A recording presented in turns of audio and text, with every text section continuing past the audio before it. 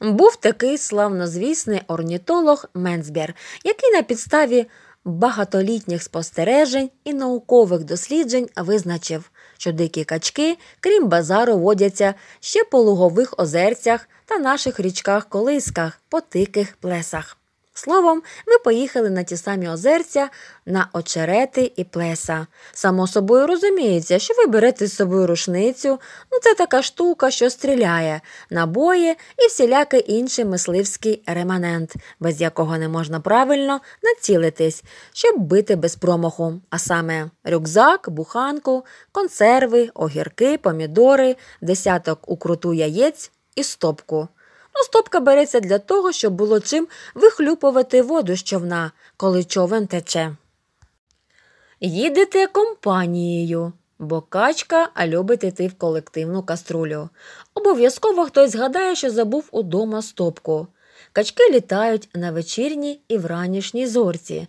На вечірню зорьку за мисливським законом ви спізнюєтеся. Але нічого, біля річки обов'язково є очерет або копиця сіна, стелите плащ, лягаєте, і тут починається найцікавіший момент качачого полювання. Це коли старі досвідчені мисливці починають розповідати про різні надзвичайні випадки. Спільна для всіх мисливських оповідань риса це те, що всі вони факти, що все це насправді було. Що розкажу, то не повірите, але це факт. І вільно дихається і легко. Поволі голос оповідача затихає. Сусід якось тяжко зітхає, а коли його запитують, чому, розмірковує, що в Америці яку ж все таки техніку придумали двоствольну стопку. Вранці бах-бах, качку стріляєте в око, а як не поцілите нічого, ітимете з полювання повз базара або купите качку більш вдалого мисливця. Головне обскупти дику качку.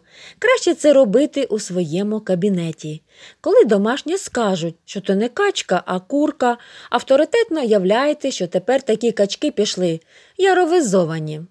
Поївши суп, зварений дружиною чи мамою, лягайте на канап і читайте записки охотника Тургенєва. Прекрасна книжка.